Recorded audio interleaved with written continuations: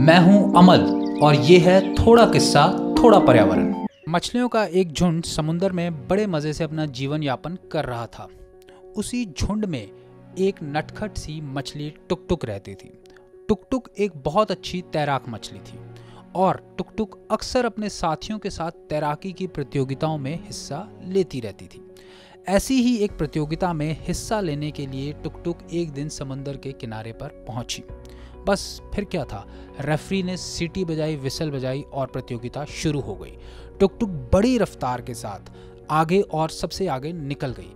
और जैसे ही टुक टुक विजय लक्ष्य के पास पहुँचने वाली थी टुक टुक के गलफड़ों में कोई पदार्थ आकर फंस गया। बस फिर क्या था? टुक टुक वहीं पर रुक गई। टुक टुक को सांस लेने में भी परेशानी होने लगी। उसकी आँखें उभर कर बाहर आ गई।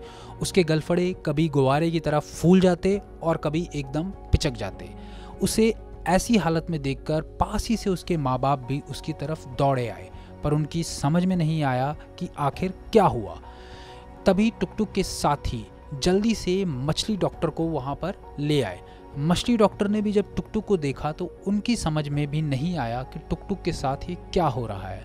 उन्होंने ऐसा तो ना कभी पहले देखा था और ना सुना था। तभी किसी ने सुझाव दिया कि पास ही के समंदर से मछली डॉक्टर रोहू वहाँ पर आए हुए हैं। टुकटुक को उनके पास जल्दी से लेकर जाना चाहिए। बस फिर क्या था? आनंद फानन में टुकटुक को मछली डॉक्टर रोहू के पास ले जाया गया। मछली डॉक्टर रोहू ने जैसे ही टुकटुक को देखा, उन्होंने उसका इलाज शुरू कर दिया और कुछ देर के प्राथमिक इलाज के बाद उन्होंने टुकटुक को ठीक कर दिया। टुकटुक के प्राण में प्राण आ गए। और टुकटुक पहले की तरह ही सांस ठीक से लेने लगी। सभी ने मछली डॉक्टर रोहू का धन्यवाद किया और उनसे पूछा कि आखिर टुकटुक को हुआ क्या था।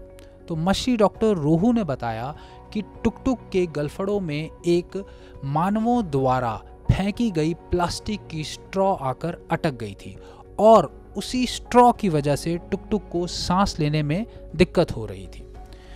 डॉक्टर रोहू ने आगे बताया कि ऐसे ही प्लास्टिक के पदार्थ जो मानव बिना सोचे समझे नदी, नालों और समुद्रों में फेंक देते हैं, वो नदी, नालों और समुद्रों में रहने वाले जीवों के लिए खतरा उत्पन्न करते हैं।